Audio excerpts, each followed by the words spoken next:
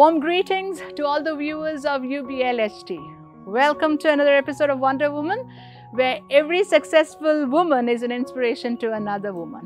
When life goes tough, put one foot in front of the other and keep moving. ഒരിക്കലും പേടിച്ച് നിന്ന് പോവരുത് just keep moving അത് എത്ര സ്ലോയിലാണെങ്കിലും കീപ് മൂവിങ് അങ്ങനെ ഒരു പേഴ്സണാലിറ്റിയാണ് ഇന്നത്തെ നമ്മുടെ വണ്ടർ വുമൻ നമ്മൾ location കൊച്ചിനാണ് I will not as usual mention her right now. You will see. I will tell you the name later.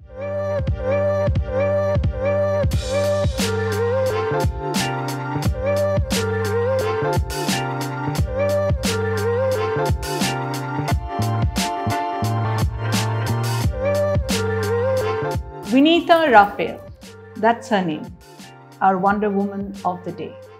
Vinitha. Hi. Hi. നമസ്കാരം. നമസ്കാരം. താങ്ക് യു ഞങ്ങളുടെ ഇൻവൈറ്റ് സ്വീകരിച്ചത് എനിക്ക് സന്തോഷം. Vineetha can you introduce yourself to our audience എന്റെ പേര് Vinitha Rafale. ഞാൻ എറണാകുളം സ്വദേശിയാണ്. ഇല ഹാൻഡ് പെയിന്റ്സ് എന്ന പേരിലൊരു സംരംഭം സംരംഭം നടത്തി വരികയാണ് ഇപ്പോൾ ഹാൻഡ് പെയിന്റഡ് ഫാബ്രിക്സ് ആണ് അതിന്റെ ഒരു പ്രൊഡക്റ്റ് ഹാൻഡ് പെയിന്റഡ് ഫാബ്രിക്സ് അതെ. തന്നെ you you paint on every fabric. ഞാൻ തന്നെയാണ് പെയിന്റ് ചെയ്യുന്നത്. ഓക്കെ അത് സാരീസ് ആണ് സാരീസ് ഉണ്ട് ഷർട്ട്സ് ദുപ്പട്ട. Hmm. അങ്ങനെ എല്ലാത്തരം ഫാബ്രിക്സിലും Tell me, Vineetha how how did you reach? അതൊരു ഒത്തിരി വർഷങ്ങളുടെ ഒരു കഥയാണ്. എന്നാ ഇല തുടങ്ങിയതെന്നാ ഇല തുടങ്ങിയത് രണ്ടായിരത്തി പതിനാറിലാണ് രണ്ടായിരത്തി പതിനാറിൽ ഓക്കെ അത് തുടങ്ങാനുള്ള കാരണം like do you do you paint like നേരത്തെയും പെയിന്റ് ഞാൻ നമ്മൾ പ്ലസ് ടു പഠിച്ചു കഴിഞ്ഞപ്പോഴത്തേക്കും അമ്മയ്ക്ക് ഭയങ്കര ആഗ്രഹമായിരുന്നു. ഞാനൊരു ടീച്ചർ ആവണം എന്നുള്ളത്. അങ്ങനെ ടി ടി സിക്ക് ജോയിൻ ചെയ്യിപ്പിച്ചു. നമ്മുടെ എറണാകുളം സെയിന്റ് ആൽബർട്ട്സ് ടി കെയിലായിരുന്നു അപ്പൊ അവിടെ നമ്മുടെ ഒരു സബ്ജക്റ്റ് ആണ് വർക്ക് എക്സ്പീരിയൻസിന്റെ ഒരു ഇത്. അപ്പൊ അതിലിങ്ങനെ കുറെ സെക്ഷൻസ് ഉണ്ടല്ലോ. അപ്പോ അതിലൊന്നായിരുന്നു ഫാബ്രിക് പെയിന്റിങ് അപ്പോൾ ഞങ്ങൾക്ക് ഇങ്ങനെ എക്സാം ബോർഡിന്റെ ഒരു വിസിറ്റിന് മുന്നേ നമ്മൾ ഒരു പ്രോഡക്റ്റ് വെക്കണം. അപ്പൊ അതിനു മുന്നേ ഞങ്ങൾക്കൊരു ഫാബ്രിക് പെയിന്റിങ്ങിന്റെ വർക്ക്ഷോപ്പ് ഒക്കെ അവർ നടത്തി. അന്ന് എനിക്കത് ചെയ്തു നോക്കിയപ്പോഴത്തേക്കും ഒരു ഇൻട്രസ്റ്റ് തോന്നി. കാരണം ബേസിക്കലി വീട്ടിൽ ചേട്ടൻ ആർട്ടിസ്റ്റ് ആണ്. അമ്മയുടെ ബ്രദറും തെർമോകോൾ ആർട്ടിസ്റ്റ് ആണ്. തെർമോക്കോളിലെ പരിപാടിയൊക്കെ പുള്ളിക്കാരൻ ചേട്ടൻ പെൻസിൽ ഡ്രോയിങ് ആണ്. നിങ്ങൾ രണ്ടുപേരാ? ആ നിങ്ങൾ രണ്ടുപേര്. അപ്പൊ ചേട്ടൻ അക്കാഡമി ലളിത ലളിതകല അക്കാഡമി അവാർഡൊക്കെ കിട്ടിയിട്ടുണ്ട്. അപ്പോ അപ്പോൾ എനിക്ക് ബേസിക്കലി പെയിന്റിംഗ് ആണ് ഇഷ്ടം. അപ്പോൾ എനിക്ക് ഈ ഒരു ടേസ്റ്റ് ഉള്ളിൽ കിടക്കുന്നുണ്ട്. പക്ഷെ വീട്ടിലാർക്കും അറിയത്തില്ല. ഞാൻ പൊതുവെ കവിതയൊക്കെ എഴുതുന്ന ഒരാളായതുകൊണ്ട് മൊത്തത്തിൽ എഴുത്തിന്റെ ഒരു ഇതാണ്. വരയ്ക്കുന്നോ പെയിന്റിങ് ചെയ്യുന്നോ വീട്ടുകാർക്ക് ആർക്കും അറിയില്ല. എല്ലാവരും ചേട്ടനിലേക്ക് ശ്രദ്ധയായത് അപ്പോൾ ആ സമയത്ത് ഈ പറഞ്ഞ പോലെ ഒരു നമ്മുടെ ഈ വർക്ക് എക്സ്പീരിയൻസിന്റെ ഈ ഒരു ഫാബ്രിക് പെയിന്റിങ് വർക്ക്ഷോപ്പിന്റെ ഇടയിൽ വെച്ചിട്ട് എനിക്ക് ഭയങ്കര ഒരു ഒരു ഇത് ഇതായിരുന്നു ഞാൻ എനിക്കൊരു വല്ലാത്തൊരു ഇഷ്ടം തോന്നി ആ ഒരു ചെയ്യുന്ന ആ ഇതിലൂടെ. അപ്പൊ ഞാൻ എന്റെ ഫ്രണ്ട്സിന്റെ അടുത്ത് പറഞ്ഞു ഇതിപ്പോ നമ്മൾ ടീച്ചർ ആയില്ലെങ്കിലും നമുക്ക് തുണിയിലൊക്കെ പെയിന്റ് അടിച്ച് ജീവിക്കാം. ഇതിപ്പോ നമുക്ക് എല്ലാ സ്കൂളിൽ എല്ലാവർക്കും കിട്ടണം നിർബന്ധമൊന്നുമില്ലല്ലോ. എന്തായാലും എനിക്കിപ്പോ എന്തായാലും തുണിയിൽ ഞാൻ പെയിന്റ് അടിച്ച് ജീവിക്കാം. ചുമ്മാ തമാശക്ക് പറഞ്ഞൊരു കാര്യമാണ്. ഞാനിപ്പോ വളരെ സീരിയസ് ആയി. ചില കാര്യങ്ങൾ നമ്മൾ പറയുമ്പോൾ സംഭവിക്കുന്ന അറിയില്ലേ? അതിപ്പം രണ്ടായിരത്തി എനിക്ക് തോന്നുന്നു രണ്ടായിരത്തി എട്ടിൽ എട്ടിലല്ല ആറിലാണ് ഞാൻ ഈ ഒരു കാര്യം. കൂട്ടുകാരുടെ അടുത്ത് തമാശക്ക് പറഞ്ഞൊരു കാര്യമാണ്. പക്ഷെ രണ്ടായിരത്തി പതിനാറിൽ ഞാനതൊരു ഒരു ഒരു ബ്രാൻഡ് നെയിമിലേക്ക് ഞാനത് കൊണ്ടുവരികയാണ് ചെയ്തത്. ടീച്ചേഴ്സ് ട്രെയിനിങ് കഴിഞ്ഞായിരുന്നു? ആ ടീച്ചേഴ്സ് ട്രെയിനിങ് കഴിഞ്ഞു. ഞാൻ your parents wanted you to be a teacher അതെ ഞാനൊരു ഒൻപത് വർഷം ടീച്ചറായിരുന്നു മലയാളം ആയിരുന്നു എന്റെ സബ്ജക്റ്റ് ഞാൻ ഒരു ടൂ തൗസൻഡ് അപ്പൊ ഈ ഒരു പെയിന്റിങ് എല്ലാവരും എല്ലാവർക്കും ഇങ്ങനെ ചെയ്തൊക്കെ കൊടുക്കുന്നുണ്ട്. കൊടുക്കുന്നുണ്ട് ഞാൻ അന്നോട്ടെ കൊടുക്കുന്നുണ്ട്. അത് ആദ്യത്തെ ആദ്യമൊക്കെ അത് അത് പൈസ കൊടുത്ത് അല്ല ഫ്രീ ആയിട്ട് ഫ്രീ ആയിട്ട് എല്ലാവർക്കും ചെയ്തു. വേണം. നമ്മളിപ്പം നമ്മുടെ നമ്മളായിരിക്കുമല്ലോ ആദ്യം നമ്മുടെ പ്രൊഡക്റ്റ് ഒരു ഇതിന്റെ ഒരു ഇത്. അപ്പൊ ഞാൻ എന്റെ സാരീസിലൊക്കെ ചെയ്യും. അത്ര വലിയ പെർഫെക്ഷൻ ഒന്നും അല്ല. ഇപ്പോ ആദ്യത്തെ വർക്കൊക്കെ എടുത്ത് നോക്കുമ്പോഴത്തേക്ക് എനിക്ക് കോവിഡ് ഞാൻ അന്നത് വലിയൊരു സംഭവമൊക്കെ. നമ്മൾ കാണുന്നൊരു സംഭവം. അപ്പൊ അന്നിങ്ങനെ ഫ്രണ്ട്സിനും ഞാൻ പഠിപ്പിച്ച സ്കൂളിൽ ചില ടീച്ചേഴ്സിനൊക്കെ ചെയ്തു കൊടുത്തിട്ടുണ്ട്. അമ്മയുടെ കുറെ സാരി നശിപ്പിച്ചിട്ടുണ്ട്. അപ്പൊ ടെക്നിക്കലി എനിക്കിതങ്ങനെ ചെയ്യണം എന്നൊന്നും അറിയത്തില്ല. കാരണം നമുക്ക് അന്ന് ഇന്റർനെറ്റിന്റെ സൗകര്യങ്ങളില്ല. നമുക്കൊന്നും നമുക്കിതൊന്നും ഇതിന്റെ ട്യൂട്ടോറിയൽസ് കാണാൻ വഴിയില്ല. അപ്പം എല്ലാം നമ്മളുടെ ഒരു ഊഹം വെച്ചിട്ട് ചെയ്യുവേ. ചെയ്യുവാണ്. അപ്പം എംബ്രോയിഡറി ഹൂപ്പിൽ വെച്ച് നമ്മൾ ചെയ്യുന്നതിനെക്കാട്ടി എനിക്ക് കുറച്ചും കൂടി എളുപ്പം തോന്നിയത് ഈ ഡൈനിങ് ടേബിൾ ഇട്ട് ചെയ്യാനാണ് അപ്പം അന്ന് ഡൈനിങ് ടേബിൾ ഇല്ല വീട്ടിൽ അപ്പൊ നിലത്ത് സോഫയിൽ സാരിയുടെ ഒരു പോർഷൻ വിരിച്ച് ബാക്കി പോർഷൻ നിലത്തിട്ട് അതിന്റെ ഇടയിൽ പ്ലാസ്റ്റിക് ഷീറ്റൊക്കെ മുറിച്ച് വെച്ച് ഇട്ടാണ് എന്റെ ഏറ്റവും ആദ്യത്തെ വർക്ക് കംപ്ലീറ്റ് ചെയ്യുന്നത്. അത് ടി ടി സിക്ക് പഠിക്കുന്ന സമയത്തായിരുന്നു. അത് കഴിഞ്ഞ് ഞാൻ ടീച്ചറായി അതിനിടയ്ക്ക് കല്യാണം കഴിഞ്ഞു. അപ്പോ അപ്പോൾ ആ സമയത്തൊക്കെ ഈ പറഞ്ഞ പോലെ തന്നെ കൂട്ടുകാർക്കൊക്കെ ആയിരുന്നു ചെയ്തുകൊണ്ട് ചെയ്തു അപ്പൊ ചെറിയ രീതിയിൽ നമുക്കൊരു ഇൻകം ചെറിയ രീതിയിൽ കിട്ടി തുടങ്ങി. പക്ഷെ ടൂ തൗസൻഡ് സിക്സ്റ്റീനിലേക്ക് ആയപ്പോഴത്തേക്കും എനിക്ക് you won't take this on a professional അല്ല എനിക്ക് സ്കൂളിലെ ജോലി നിർത്തേണ്ടി വന്നു. എന്നുവെച്ചാൽ എനിക്ക് അത്യാവശ്യം ഡിസ്കിന് കംപ്ലൈന്റ് അതേ മീൻ ഡിസ്ക് ബൾജിങ് വന്നിട്ട് സ്കൂളിൽ എനിക്ക് ടീച്ചിങ്ങിന്റെ ജോലിക്ക് പോകാൻ പറ്റാത്തൊരവസ്ഥ വന്നു. അതായത് ഒരു സ്റ്റെപ്പ് പോലും എനിക്ക് കയറി കയറാൻ പറ്റില്ല. പറ്റത്തില്ല. പറ്റത്തില്ല. അത്രയും പ്രശ്നമായിരുന്നു. അപ്പൊ പിന്നെ എനിക്ക് ഞാൻ ആ ഒരു അക്കാഡമിക് ഇയർ കംപ്ലീറ്റ് ചെയ്യാതെ ഞാൻ റിസൈൻ ചെയ്തു. അത് ടൂ തൗസൻഡ് സിക്സ്റ്റീനിലായിരുന്നു ഫെബ്രുവരിയിൽ ഞാൻ സ്കൂളിൽ നിന്ന് റിസൈൻ ചെയ്തു. അത് പള്ളുരുത്തിയിലെ സ്കൂളിലായിരുന്നു. So when did you seriously decide that? അപ്പൊ ഈ ഒരു ബ്രേക്ക് ഒരു ബ്രേക്ക് വന്നു എന്റെ കരിയറിൽ. ഇനി എന്ത്? കാരണം എനിക്കൊരു പത്ത് മിനിറ്റ് നിൽക്കാൻ പറ്റില്ല. ബെൽറ്റിന്റെ സപ്പോർട്ട് ഉണ്ട് Okay. അപ്പൊ ബെൽറ്റ് വെച്ചിട്ടാണ് നടന്നുകൊണ്ടിരുന്നതൊക്കെ. അപ്പോൾ ഇനി എന്ത് എന്നുള്ളൊരു ക്വസ്റ്റ്യൻ എന്റെ എന്റെ ഉള്ളിൽ ഇങ്ങനെ ഉണ്ട്. കാരണം ആ സമയത്തും ഞാൻ എന്റെ കാര്യങ്ങൾ ഞാൻ തന്നെയാണ് ചെയ്തുകൊണ്ടിരുന്നത്. ഞാനൊരു മാരിറ്റൽ റിലേഷൻഷിപ്പിലായിരുന്നെങ്കിലും ഞാൻ എന്റെ കാര്യങ്ങൾ ഞാൻ തന്നെയാണ് ഞാൻ ചെയ്തുകൊണ്ടിരുന്നത്. സപ്പോർട്ട് ഉണ്ടായിരുന്നില്ല. ഐ മീൻ സപ്പോർട്ട് യു ഇല്ല ഇല്ല. അന്നേരം അന്ന് അന്ന് വിനീത ഈ ഹാൻഡ് പെയിന്റിംഗ് ഒക്കെ അന്നും ചെയ്യുമായിരുന്നു. അപ്പം അത് like did you any time say like why are you doing this അങ്ങനെ ഒരു അങ്ങനത്തെ ഇല്ല കംപ്ലൈന്റ് വരുമായിരുന്നു പിന്നീടാണ് കംപ്ലൈന്റ്സ് ഞാൻ എപ്പോഴും വരക്കാതിരിക്കുന്നു അതൊരു കംപ്ലൈന്റ് ആയി. പക്ഷെ ഞാൻ ഇപ്പൊ ഒരു കാര്യം എനിക്ക് പൊതുവെ സ്ത്രീകൾ അങ്ങനെയാന്ന് തോന്നുന്നു. നമ്മളിപ്പോ ഒരു എക്സ്ട്രാ നമ്മൾ നമ്മുടെ ജോലിയേക്കാൾ എക്സ്ട്രാ നമ്മൾ എന്തെങ്കിലും പാഷൻ നമ്മൾ ചെയ്താൽ നമ്മൾ ആ കിട്ടുന്ന എമൗണ്ട് അല്ലെങ്കിൽ ആ ഒരു ഇൻകം നമ്മൾ നമ്മുടെ കുടുംബത്തിലോട്ട് തന്നെയാണ് ചെലവാക്കുന്നത്. നമ്മൾ കൂടുതലും ചെലവാക്കാൻ സ്ത്രീകൾ ആഗ്രഹിക്കുന്ന അവരുടെ കുടുംബത്തിലേക്കായിരിക്കും. ഞാനും അത്രയേ അന്ന് ചെയ്തിട്ടുണ്ടായിരുന്നുള്ളൂ. പക്ഷെ അതിലൊരു കംപ്ലൈന്റ് ഞാൻ എപ്പോഴും ഫുൾ ടൈം വരക്കായിരിക്കുന്നു വീട്ടിലെ കാര്യങ്ങൾ ശ്രദ്ധിക്കുന്നില്ല അങ്ങനെ അങ്ങനെ അങ്ങനെ കുറെ കംപ്ലൈന്റ്സ് ഒക്കെ ആ ഒരു സമയത്ത് വന്നിട്ടുണ്ടായിരുന്നു. വന്നിട്ടുണ്ടായിരുന്നു. മാരേജ് ടൂ തൗസൻഡ് ട്വൽവിലായിരുന്നു ടൂ തൗസൻഡ് ട്വൽവ് ഓക്കെ അതൊരു കൈൻഡ് അബ്യൂസീവ് റിലേഷൻഷിപ്പ് ആയിരുന്നു. അബ്യൂസീവ് റിലേഷൻഷിപ്പ് എനിക്ക് കല്യാണം കഴിഞ്ഞ് ആ വർഷം തന്നെ മനസ്സിലായി. ആദ്യത്തെ അടി തലക്കെട്ട് കിട്ടിയപ്പോൾ തന്നെ എനിക്ക് മനസ്സിലായി. എന്റെ decision normal person normal person ആയിരുന്നു. വെരി അഗ്രസീവ് വെരി അഗ്രസീവ് ഇപ്പം ഇപ്പൊ ഞാൻ അഞ്ചു വർഷമായിരുന്നു എന്റെ ആ ഒരു മാരിറ്റൽ ലൈഫ്. പക്ഷെ അഞ്ചു വർഷവും ഞാൻ എന്തെങ്കിലും ഒരു സീരിയസ് ഇഷ്യൂ ആയിട്ട് ഹോസ്പിറ്റലിൽ അഡ്മിറ്റ് ആവും ആവേണ്ട അവസ്ഥ വന്നിട്ടുണ്ട്. ഇല സ്റ്റാർട്ട് ചെയ്ത് ഞാൻ ടൂ തൗസൻഡ് സിക്സ്റ്റീനിൽ തന്നെ ഇല സ്റ്റാർട്ട് ചെയ്തു. അതും സ്റ്റാർട്ട് ചെയ്ത് രണ്ട് മാസത്തിനുള്ളിൽ എനിക്ക് കൈക്കെട്ടൊരു വെട്ടുകൊണ്ടു. അതെ അതെ അതെ യു മീൻ നൈഫും കൊണ്ട് വെട്ടി. നൈഫ് അപ്പോൾ അതൊരു വഴക്ക് നടക്കുന്ന നടന്നുകൊണ്ടിരിക്കുവാണ് അപ്പം ഒരിക്കലും ഞാൻ പ്രതീക്ഷിച്ചില്ല. എനിക്കിപ്പോൾ അത് ഓർക്കും ഞാൻ ഓർ ഓർക്കാൻ ആഗ്രഹിക്കാത്ത കാര്യമാണെങ്കിൽ പോലും എനിക്കത് പറയണം എന്ന് തോന്നി. കാരണം ഞാൻ കാണുവാണ്. ഈ പറഞ്ഞ വ്യക്തി പുതിയ ആമസോണിൽ നിന്ന് ഓർഡർ ചെയ്ത പുതിയ കത്തിയുടെ പാക്കറ്റ് പൊട്ടിക്കുന്നത് ഞാൻ കണ്ടിട്ടാണ് ഞാൻ മുഖം കഴുകാനായിട്ട് വാഷിംഗ് ബേസിലേക്ക് വരുന്നത് ആ സമയത്ത് പുള്ളി കത്തിയായിട്ട് പിറകെ വരികയാണ്. ബട്ട് ഒരു പ്രൊവൊക്കേഷൻ ഇല്ലാതെ ഓൾറെഡി അവിടെ നമ്മളൊരു വഴക്കിലാണ്. ഓൾറെഡി ഒരു ഒരു. ഭയങ്കര അഗ്രസീവ് മൂഡിൽ നിൽക്കുവാണ് അപ്പൊ ഞാൻ കരഞ്ഞ് ആകെ ഇതായി മുഖം കഴുകാനായിട്ട് വന്നു. അപ്പൊ പുള്ളി എന്റെ പിറകെ വന്നു. അപ്പൊ കൈ ഇങ്ങനെ ഇങ്ങനെയാ വെച്ചിരിക്കുന്നത്. അപ്പൊ കൈക്കിട്ടാണ് വെട്ടിയത്. കൈ അവിടെ ഇല്ലായിരുന്നെങ്കിൽ നേരെ നേരെ വയറിലേക്ക് വന്നേനെ. അപ്പം കൈ അപ്പം ബ്ലഡ് അങ്ങ് ചീറ്റി. അപ്പൊ സാരി പെയിന്റ് ചെയ്യാനായിട്ട് ഞാൻ ടേബിളിൽ വിരിച്ചിട്ടിട്ടുണ്ടായിരുന്നു. അതിലേക്ക് ബ്ലഡ് ബ്ലഡ് അതിലേക്കാണ് വീണത്.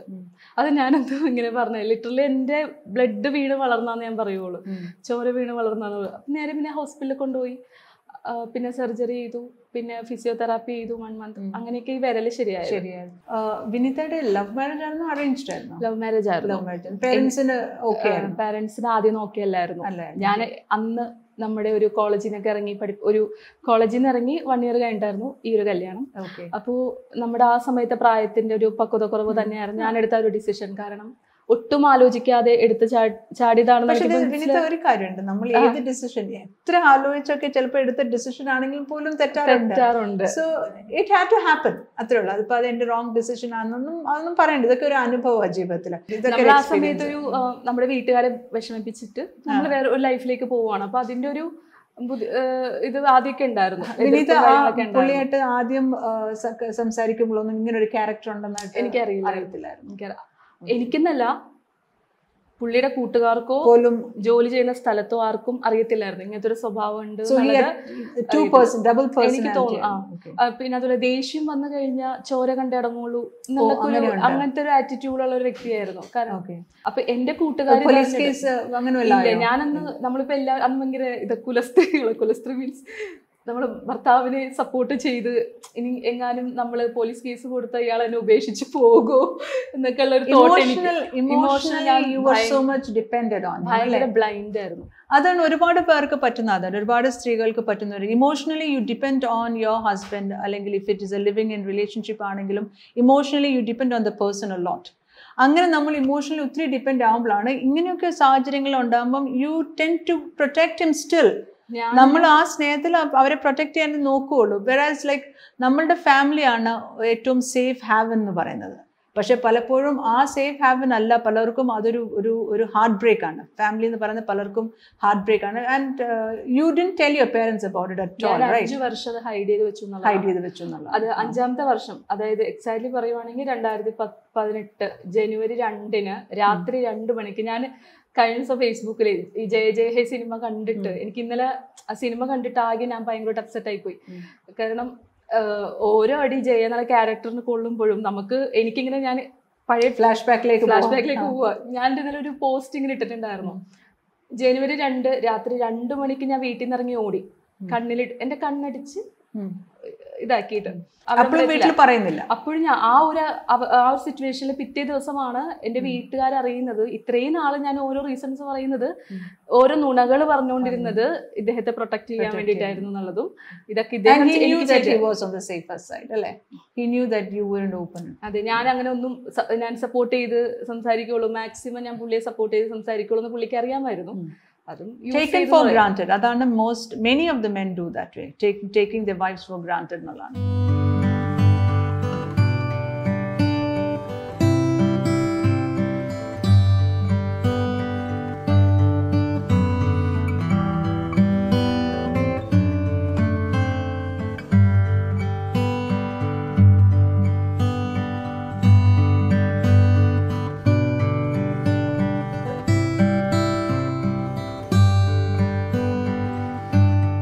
So അവിടുന്ന് പിന്നെ യുരൻ didn't go back to എന്റെ അമ്മയാണ് എന്നെ തിരിച്ച് വിളിച്ചു കൊണ്ടുവന്നത്. അമ്മ അമ്മ അത്രയും ധൈര്യമുള്ള ഒരാളാണെന്ന് എനിക്ക് അന്നാണ് മനസ്സിലായത്. കാരണം ഞാൻ കണ്ണ് എനിക്ക് കണ്ണ് തുറക്കാൻ പറ്റാതിരിക്കുന്ന ഒരു അവസ്ഥയാണ് കണ്ണൊക്കെ വീർത്ത് ചുവന്ന് കലങ്ങിയിരിക്കുവാണ്.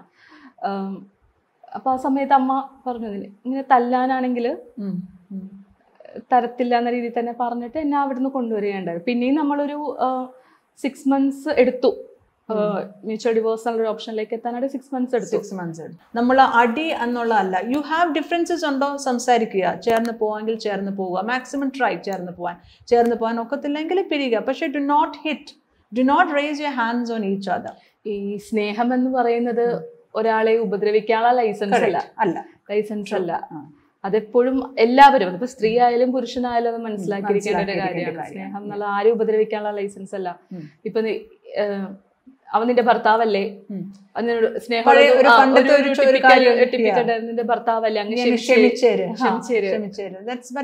അക്സെപ്റ്റബിൾ ഞാൻ ചോദിക്കട്ടെ. ഇപ്പം വിനീത വീട്ടിൽ വന്നു കഴിഞ്ഞ് what what was you feeling in the inside like വിനീതയ്ക്ക് ഭയം ലൈക്ക് മുമ്പോട്ട് വിനീതയുടെ ഫ്യൂച്ചർ കംപ്ലീറ്റ് പോയി അങ്ങനെയൊക്കെ ഡിഡ് യു ഫീൽ അതോ you strong enough to face it ഇല്ല ഞാൻ ഭയങ്കര തകർന്ന അവസ്ഥയിലായിരുന്നു. ഓക്കെ ഒത്തിരി പേര് ഇത് പറഞ്ഞ നമ്മളെ സപ്പോർട്ട് ചെയ്തിട്ടുണ്ട്. കൂടെ ചേർത്ത് നിർത്തിയ ആളുകളുണ്ട്. ഏത് രാത്രി വേണേലും എത്ര പാതിരാത്രി ആയാലും നമ്മളുടെ സങ്കടം അതായത് എന്റെ അവസ്ഥ മനസ്സിലായി കാരണം എനിക്ക് ഇടയ്ക്ക് ആ ഒരു സമയം തൊട്ട് ഇനി ഫിക്സ് വരാൻ തുടങ്ങി. ഓക്കെ. അതായത് ഈ ഒരു പേര് കേൾക്കുമ്പോൾ അതുമായി റിലേറ്റഡ് ആയിട്ടുള്ള കാര്യങ്ങൾ കേൾക്കുമ്പോൾ ഞാൻ ഒരു കാര്യം കൂടി ചോദിച്ചോട്ടെ? Like you say like fits വന്ന് വേദന വന്ന് യൂസ് പീപ്പിൾ പക്ഷെ എപ്പോഴും ആരും തോന്നിയോ? ലൈക്ക് യു എന്നാലും ഞാൻ സ്നേഹിച്ച ഒരാൾ ഇത്രയും എന്നോട് ഇങ്ങനെ കാണിക്കാനായിട്ട് ലൈക്ക് എങ്ങനെ? അതൊരു അൺബിലീവബിൾ ആയിട്ടുള്ള ഒരു ഒരു സിറ്റുവേഷൻ അപ്പോഴും അത് വേറൊരു തമാശ അപ്പോഴും എന്റെ മനസ്സിൽ സ്നേഹമാണ്. അപ്പോഴും മനസ്സിൽ അതായത് ഡിവോഴ്സൽ ഓപ്ഷൻ ആ സമയത്ത് എന്റെ മനസ്സിലില്ല. കുറച്ച് നാൾ മാറി നിൽക്കാം. അതായിരുന്നു ഞാൻ ഇപ്പോഴും ഇങ്ങനെ കൂട്ടുകാരൊക്കെ പറയുമ്പോ കുറച്ച് നാൾ മാറി നിൽക്കുമ്പോ പുള്ളി ശരിയാവും. ഇതായിരുന്നു. പക്ഷേ ഒരു ഒരു പെർട്ടിക്കുലർ മൊമെന്റ് ഇപ്പൊ എനിക്ക് മനസ്സിലായി. നമ്മൾ ഒരിടത്തും ബെഗ് ചെയ്ത് നിൽക്കേണ്ട ആവശ്യമില്ല. നമുക്ക് വേണ്ട സെൽഫ് റെസ്പെക്റ്റ് ആണ്. നമ്മൾ ആവശ്യമില്ലാത്തടത്ത് നമ്മൾ നിൽക്കേണ്ട ആവശ്യം ഇതില്ല എന്ന് മനസ്സിലായി. പക്ഷെ ആ ട്രോമ ഇസ് ഹൊറിബിൾ അത് ഹൊറിബിൾ ആയിരുന്നു. അത് ഭയങ്കര ഹൊറിബിൾ ആയിരുന്നു. അത് കഴിഞ്ഞ് പിന്നെ you got the divorce and എനിക്ക് അപ്പം അപ്പൊ ഇല്ല തുടങ്ങിയോ ഇല്ല അത് സിക്സ്റ്റീനിൽ തുടങ്ങി. ഇതിനകത്ത് ഇതിന്റെ ഈ ഒരു ഇതിലാണ് ഇതൊക്കെ നടക്കുന്നത്. എന്റെ ഒരു എനിക്ക് മൈൻഡ് ഡൈവേർട്ട് ചെയ്യാനുള്ള അന്നത്തെയും ഇന്നത്തെയും എന്റെ ഒരു ഒരു വലിയൊരു ഓപ്ഷൻ ഇലയാണ്. ഓക്കെ. ഞാൻ പെയിന്റ് ചെയ്തായിരുന്നു അങ്ങനെ ഇരുന്നു ചെയ്തുകൊണ്ടിരിക്കും. എനിക്ക് മൈൻഡിൽ വേറെ വേറൊന്നും വരത്തില്ല. ഭയങ്കര ഭയങ്കര റിലീഫാണ് എനിക്ക് പെയിന്റിംഗ് എന്നുള്ളത്. ഇപ്പൊ യു മാരീഡ് അഗൈൻ കഴിഞ്ഞ വർഷമായിരുന്നു കല്യാണം. കഴിഞ്ഞ വർഷം കല്യാണമായിരുന്നു. And he is very supportive അതെ. സോ ഇറ്റ്സ് ലൈക്ക് ഭയങ്കര ഡിഫറൻസ് അത്. എനിക്കിപ്പോ മനസ്സിലാവുന്നുണ്ട്. ട്രൂ റിലേഷൻഷിപ്പ് സത്യം സത്യം. പിന്നെ എനിക്ക് നമ്മളിപ്പം ആദ്യത്തെ ഒരു ട്രോമ ഉള്ളത് കൊണ്ട് ഒരു പേടി ഉണ്ടാവുമായിരിക്കും ഇതെന്താകും? അല്ലെങ്കിൽ കല്യാണം കഴിഞ്ഞു. അപ്പൊ പുള്ളി ഇടയ്ക്ക് പറയും നിനക്ക് ഇപ്പോഴും പഴയ ഒരു ഇത് കിടക്കുന്നുണ്ട്. ഞാൻ നിന്നെ ഉപദ്രവിക്കും ഉപദ്രവിക്കുമോ എന്നുള്ളൊരു പേടി. കാരണം ചുമ്മാ ഞാൻ ഒന്ന് കൈവച്ചാൽ തന്നെ ഞാൻ എട്ടും ഞെട്ടു. ഓക്കെ. അത്രയും ഞാൻ ഉള്ളിൽ എനിക്ക് അത്രയ്ക്ക് ഒരു ഇൻസെക്യൂരിറ്റി ഉണ്ടായിട്ടുണ്ട്. സോ നമുക്ക് ആ പെയിന്റിംഗ് ഒന്ന് കുറച്ച് കാണാൻ നോക്കൂ. തീർച്ചയായിട്ടും. വരും.